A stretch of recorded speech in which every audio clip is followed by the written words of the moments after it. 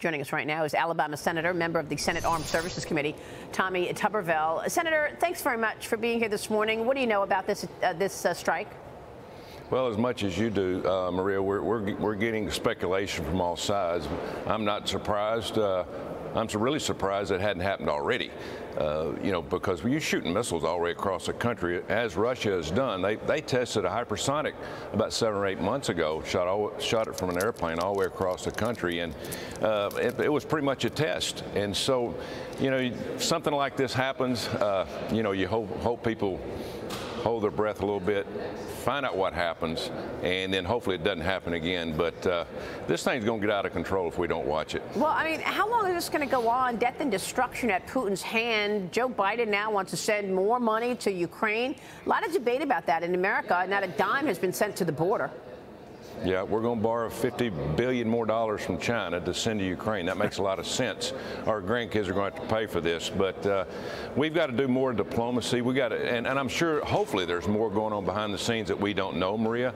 But uh, we, have got to get this stopped. Uh, Putin's back's against the wall. Ukrainians are fighting their tails off trying to save their country. Something's got to give here, and hopefully it doesn't escalate. But what we saw yesterday can make it escalate very quickly, and we need to get control of it. There's no control right right now. No control being what? I mean, should there be a, a, a response? H how do we get control of it?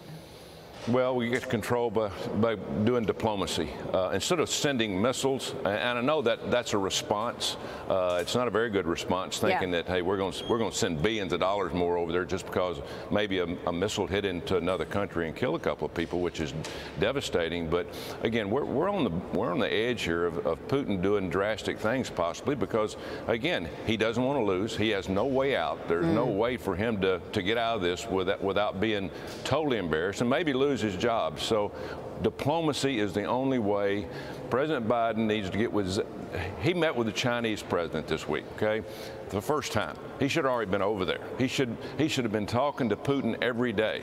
We've got all kind of problems here in this country, but that, this could really get out of control. Well, I'm going to get the panel in in a minute, Senator, but I got to get your take on, on what's going on in the world. I mean, we got this situation in Russia.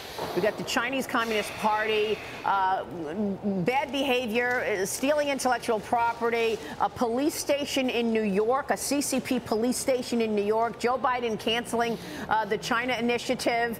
There, he, you know, he rolls over for the CCP time and time again. And of course, former President Trump has officially announced a third run for the White House. He's uh, picking up several endorsements, including Elise Stefanik, Marjorie Taylor Greene. Uh, here's uh, President Trump last night. Watch. Much criticism is being placed on the fact that the Republican Party should have done better, and frankly, much of this blame is correct. But the citizens of our country have not yet realized the full extent and gravity of the pain our nation is going through, and the total effect of the suffering is just starting to take hold. They don't quite feel it yet, but they will very soon. I have no doubt that by 2024, it will sadly be much worse and they will see much more clearly what happened and what is happening to our country. So here we go, Senator. Uh, your reaction are you going to back Trump for 2024? Hundred percent. Uh, you know, you look at what he did, Maria, before he was uh, kicked out of office. He he had this country going in the right direction. He's not a politician. He stood up to the the mainstream media. They don't like him. Uh, I can understand that, but he stood up for the American people. Look where we're at now. I've been up for two years since President Trump lost. This is devastating. Uh, we just elected this group to run this country again for two more years. We're getting ready. If we're not al already in a recession, it's getting ready to get really bad. You can't run run a country or a, uh, this entire planet without fossil fuels. But they're hard headed enough to try to get it done.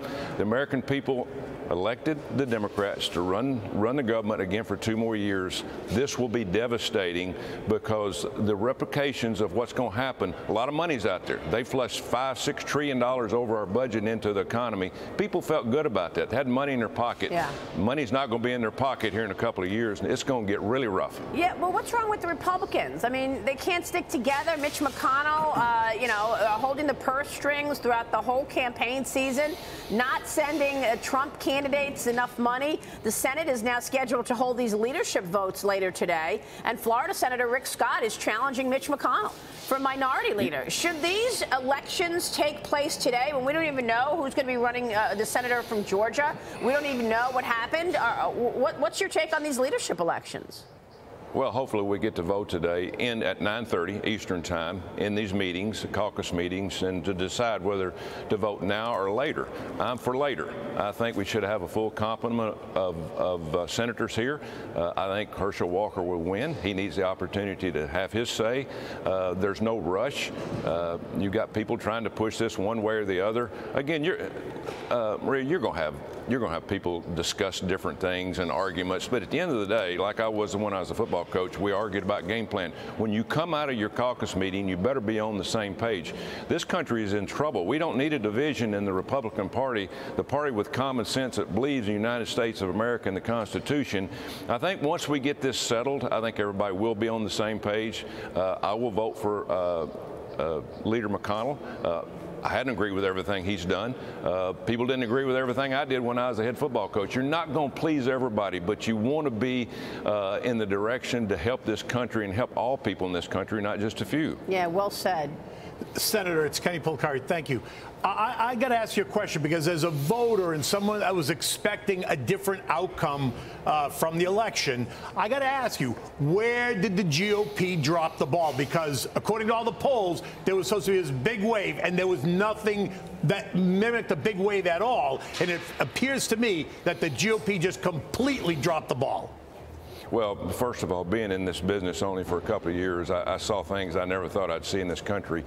The Democrats just flat out lying of what they what we were going to do and what they were going to do. Talking about Medicare and Social Security, there's nobody that that likes and, and wants to defend Medicare and Social Security more than the Republicans. Well, then why? Uh, it's in Yeah. it's in trouble. It's in trouble. And that's what Rick Scott brought up. It's in trouble. We need to address it where we can save it for everybody. Yeah. Uh, both will be out of business in eight to ten years if we don't make some kind of tough decisions. Understood, but we allowed, or the GOP allowed, the Democrats to take control of that conversation.